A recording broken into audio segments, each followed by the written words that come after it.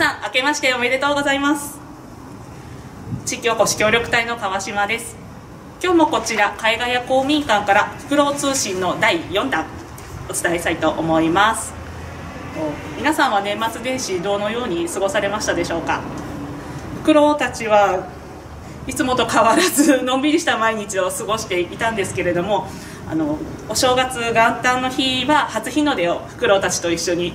眺めながら私も過ごすことができました。さて本日はこちらメガネフクロウという種類のレオリオと一緒にやってきました。愛称はスタッフからはレオと呼ばれています。このメガネフクロウさんはこのメガネの模様が顔の周りにあるということからそういう名前がついていてあとは南米最強のフクロウって言われてるんですけれどもこちらのレオはちょっとあのおっちょこちょいなところがありましてあのご飯を食べたり飛んだりあとは腕に人の腕に乗ったりということがちょっと不器用でうまくできない部分があるんですけれどもそんな手のかかるところがスタッフからはとても可愛がられていてあの一押しの私たちが一押しのフクロウさんです。さて本日は海外屋公民館で開催されている骨髄バンクパネル展 in 海外屋にやってまいりました。これは骨髄バンクについて関心を高めてもらうためのパネル展で1月18日から29日までの2週間1階のロビーで展示をしています。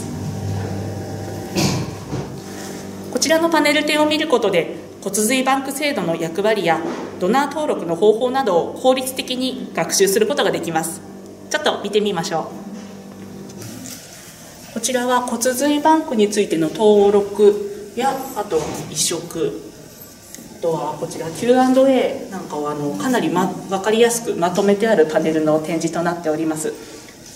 じっくり見てみるとまだまだ知らないことがたくさんあるなというふうに感じました。さらにあのこちらオレンジ色のパンフレットがあるんですけれども献血に行った方はご覧になったこともある方いらっしゃるかと思います。ちらもあのかなり詳しくの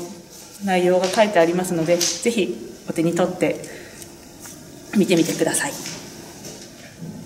こちらは骨髄移植を受けた方の声です。皆さんドナー登録者のおかげで助けられたということがよくわかるエピソードです。こちらはドナー登録を考えている方向けの DVD 動画です。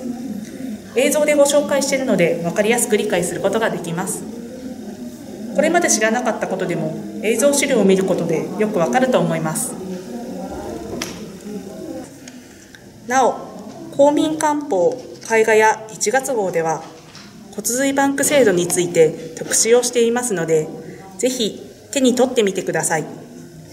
また前橋市では骨髄ドナー支援事業も行っています。会場にも説明のチラシを用意しているほか